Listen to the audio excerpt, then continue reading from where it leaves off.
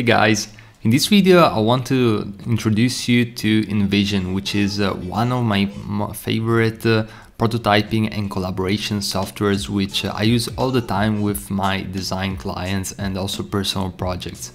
So as you can see, uh, we just created a new InVision account and uh, the first thing that uh, you're gonna see is uh, the call to action to create a, a first uh, project, which you can do by either clicking on here or on the red plus uh, over here.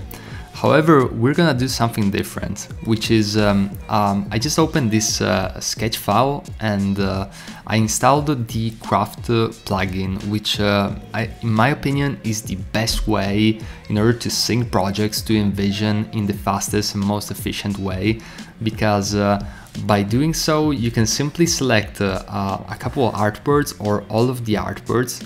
So in this case, I'm gonna select these top three artboards and uh, what I'm gonna do is uh, go on the very first uh, icon and click on the, the icon itself. And um, on the top you can see that we have the craft pop-up open or popover open and uh, basically what we can do over here is we can either create a new prototype or if you already have uh, some prototypes in your InVision account you can select them from the drop down. In this case since we have uh, none we're gonna create a brand new prototype.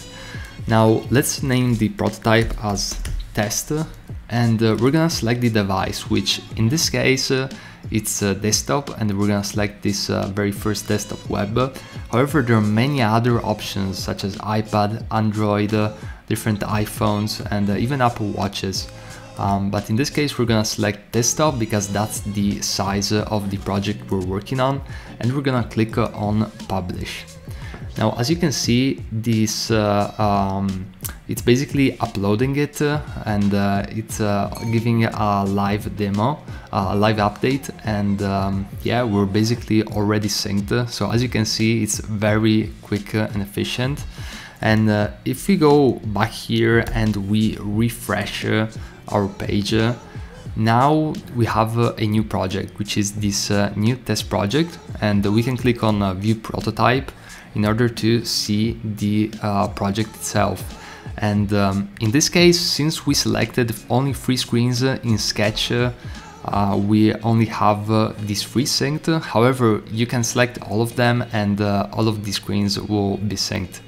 Now, if you want to go and uh, see the details of a screen, you can simply click on view screen. And as you can see, we're just gonna skip this for now.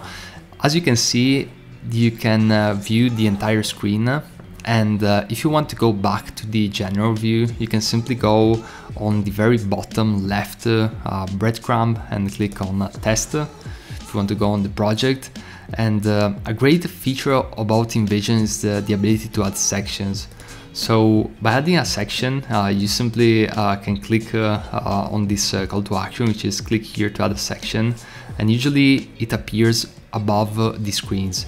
So sections uh, can be really, uh, really important. And uh, let's just name one over here, section one. And uh, as you can see, you're, you're, not only you're going to see the name of the section, but also the number screens in that section.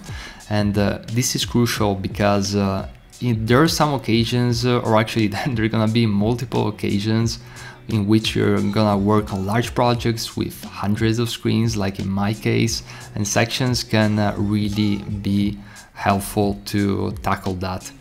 Now this is it for this uh, overview. Um, I'm just gonna uh, also uh, remind you of this option right here which uh, allows you to make the screens smaller or bigger and you can also change the view. So by changing the by clicking on uh, this um, these lines, uh, these hamburgers menus, um, you can see more details and a different display view of the screens.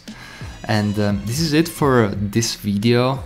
In the next video, we're gonna explore some more advanced uh, features of uh, the single screens.